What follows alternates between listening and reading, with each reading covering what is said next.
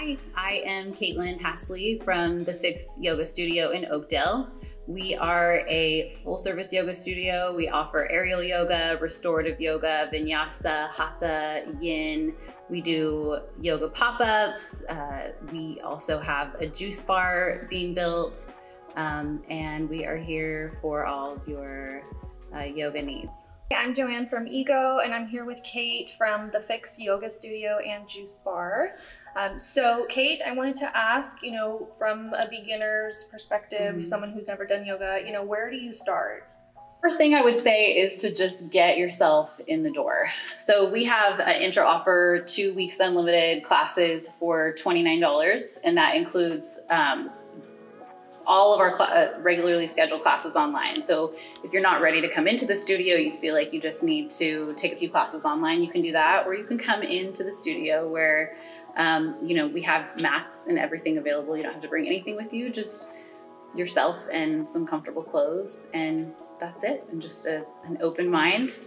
Um, and I would say the first, the, the best class to start with is a restorative class. So you're going to get really familiar with your boundaries and um, the fundamentals and principles of yoga and movement. It's just really comfortable movement that feels good. We give you props and stuff. So, um, you know, we set you up in just really comfortable poses that just help you to get really, really familiar with basic yoga poses and movement that just feels good for your body. Okay.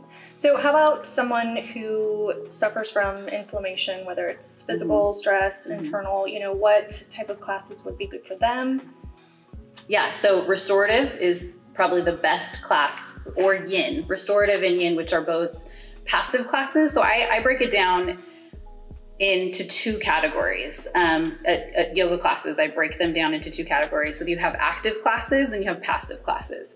So your passive classes are going to be uh, more like recovery, right? Where it puts your body, it shifts your, your nervous system from the sympathetic, which is like the active role, right, into the parasympathetic, which is the more passive, relaxed, um, at ease um, state. So um, passive classes are restorative, restorative flow, yin, wall yoga, things like that. Um, your active classes are vinyasa, any flow classes, like faster, uh, the pace is set a little bit faster. So you kind of want to already be sort of familiar with the poses with, with, um, and with your boundaries so that, um, you know, you can pick up the pace a little bit and get a little bit more cardiovascular movement um, out of the practice. But yeah, if you're if you're suffering from inflammation, I would definitely say restorative is a great place to start because it's going to put your nervous system into a more healing, relaxed state that is going to promote healing. Okay. And then just on, I guess, who would your average kind of yoga person be? Like who's most common, you know? Anyone who has stress anyone who has stress. We have classes that range from all over the place. Actually, we have a, a brand new class called Blue Collar Yoga that is um, tailored to men's mobility needs. Men are need yoga so much, and they're you know the the last to advocate for that need um, by you know stepping into a yoga studio. So we built a class around them. Um, but you know, in that that class, blue collar yoga is really for like anyone who has like a, a, a challenging job um, where it's like physically demanding, or they have had a physically demanding job. Um, but anyone who, you know, we have a lot of moms who come to um, our morning restorative classes um, and our evening classes. We have vinyasa classes that are really for people who maybe have a little bit of experience or, or maybe more um, doing yoga who want more of a workout with their mobility. Um, but yoga is for everyone.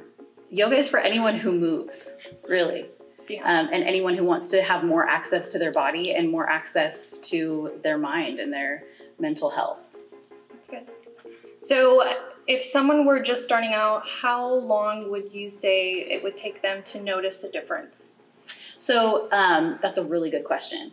I always let people know that if you want to see if you just want to maintain where you're at, you just want to maintain because we're, we're, our, we're, our health is on a spectrum, right? We're always moving in one direction or the other depending on how how active we are in participating in our wellness, right? Yeah. How often we're practicing our health, you know, our health and our wellness. So uh, if you're just trying to maintain whatever level you're at, I, I always tell people twice a week. You want to be on the mat practicing twice a week. If you're trying to make progress with flexibility, with mobility, with stress relief, you want to be on the mat every 48 hours. Oh, wow. Yes. Yeah.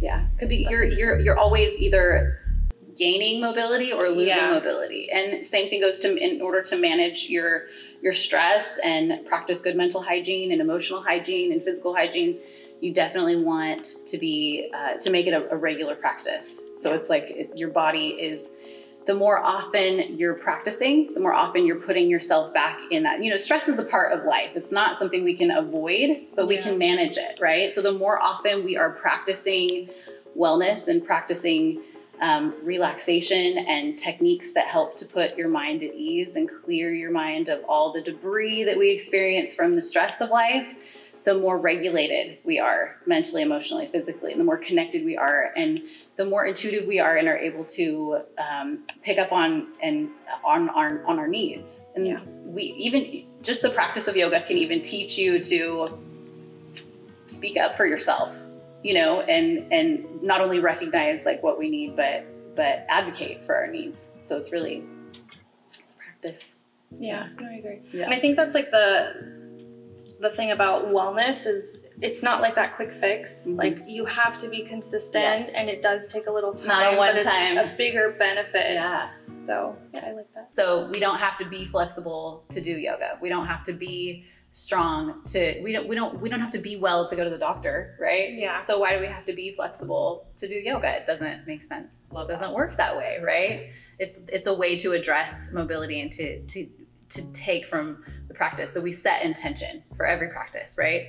And a lot of times it's really hard to even get in the door but you know you, you don't have to. We offer classes online so people who want to just stay home in the comfort of their own you know personal space are welcome to do that but there is no judgment especially with yoga. There's no judgment. Um, you know you come as you are that's the number one rule in yoga. You come as you are you do what you can. You start where you are and the more you do of what you can do and that's what we focus on not what we can't do. The more we do of what we can do the more we're able to do what we couldn't do. So you know you you learn from every practice and you know you're you're tapping into the wisdom of your body and that's what's really important. Um, so we focus on we're not here to judge each other or to mirror each other we're not looking at the person next to us to see if we measure up. You're in immersed in your own personal experience taking from it whatever it is that you need so yeah we don't we don't focus on you know okay well let me get to this point before i start you don't have to do that you can start where you are For anyone who's ready to make that change, so Mhm. they want to start committing to wellness, maybe they're not ready to come into the facility, but they want to start at home. What tips would you recommend for them? So it's always good to start with five minutes a day. If you can take five minutes a day at the same time every day to just practice a little mind body connection, you know, find a nice quiet place at home that's peaceful. Um, you know, turn off the TV, disconnect, unplug from your phone, turn off, you know, get away from social media and just spend some time really connecting with yourself. Just quieting all the, the, the Rolodex of things to do that's constantly spinning in your head and just get quiet and just be in the stillness. A lot of times, just being in that stillness and quieting your mind and, and just finding some quiet time for yourself to just be in the stillness. Um, there's a lot of insight that comes from that, and it can be a great catalyst for uh, to really start your wellness journey. Yeah, Awesome. And then how about um, Yeah. Maybe something they could do um, at the desk, you Mhm. know, just for the common areas that people kind of ache. Yeah, absolutely. Yeah. So I would say the the main um, movements to focus on um, when you're just like in the office or you're at home is um, twists and side bends and forward folds.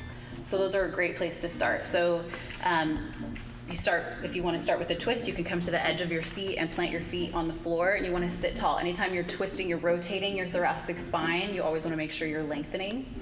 So you can start in a chair and just take your hand to the arm of the chair or to the edge of the, of the seat and just twist your spine. Just make sure you're lifting up through the crown of your head as you rotate your spine and turn your head to look all the way over the shoulder. And then something that's really important with yoga is that you're connecting your movement to your breath.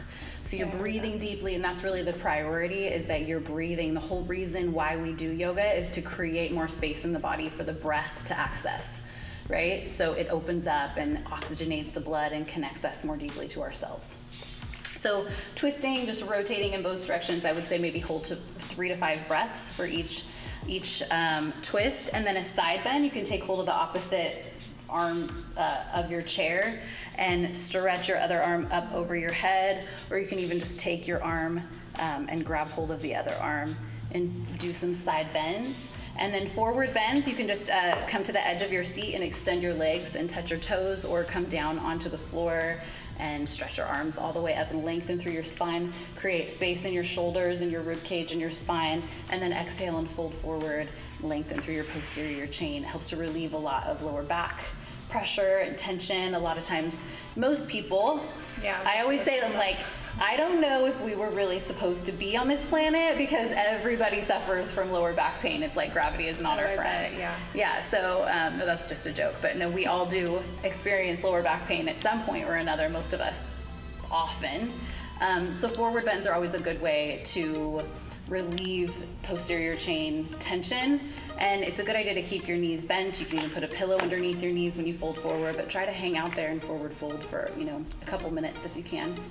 And you can start the day that way, a forward bend, a twist, and a couple side bends every morning. It's better to practice for a few minutes every day um, than to wait a week and practice, you know, for one hour once a week. Yeah. So the more often you're, you know, stretching, the more you're going to be able to improve your mobility. Yeah, and I would think like at work, you can definitely do that, and it would be a mm-hmm. way to help you kind of stay awake. Yeah, sometimes absolutely. like after lunch, I'm like, oh, I'm tired or I'm hurting. Like mm-hmm. just five minutes, do it. Yeah. You know, finish yeah. out the rest of the day. Absolutely. Yeah, I need that. Well, thank you so much, Kate, for uh, collaborating with us. We're so excited to um, with the Fix. And if you're ever in Oakdale and you want to start your wellness journey, this is a perfect place to start. They have a juice bar opening up soon, so that's also very exciting for them. Um, so we thank you for watching and we're excited for this collaboration with our group. Thank you.